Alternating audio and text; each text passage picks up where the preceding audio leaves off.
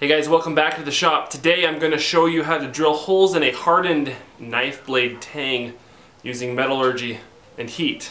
I have this knife that I want to drill a lanyard hole in, but the problem is the blade's already heat treated. A drill bit simply won't work like it does on a pre-heat treated piece of steel. And I'll show you how hard this steel is. This is 1095 and 15N20 with 1095 sandwiched between it.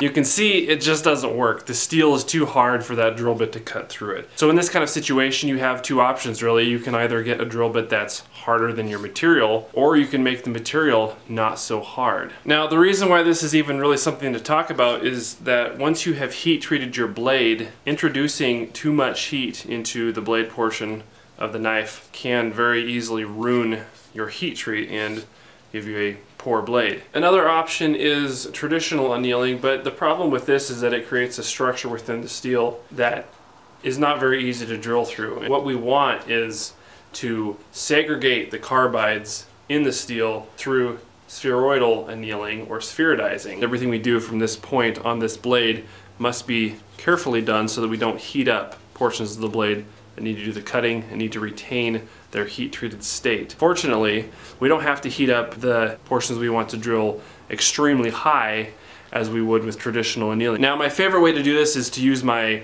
propane uh, oxygen torch, but you can also use a small torch like this that just uses the Venturi style burner on it. And I assume, depending on where you're trying to soften the tang, if you're very careful, you could probably even get away with doing some of this in a forge, periodically cooling the blade. But I haven't tried that. I prefer to use a pretty small flame on the torch. You can use a larger flame, it really doesn't matter. What does matter the most is how much heat you introduce to the steel. Our goal is not to heat this to an orange or even cherry red hot or heat, but simply to a dull red heat. The reason for this is we don't want to change it to austenite. Austenite is a phase of steel that happens above 1400 degrees, usually 1425 and above. And once we've created some austenite, that can change back into pearlite. And we don't want that to happen. We just want to use some heat to ball up or segregate the carbon. So as you can see, it's easy to heat a very localized area on this knife tang and, uh, and not ruin important heat treating further up. So you probably can't see it on the camera, but I've got a very dull red spot right here in this area. And I'm going to kind of make sure that it's consistent, and then I'm going to let it air cool.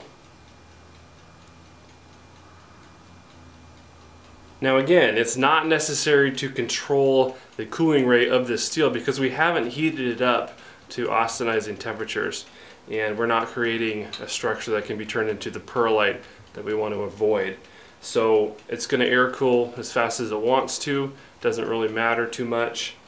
And once it's cool enough to touch, then I will take it over to the drill press and see if we can drill through it. Sometimes it's necessary, necessary to do this multiple times, two or three times perhaps, uh, for the spheroidizing, but I'm going to see how quickly we can uh, get a hole drilled through it.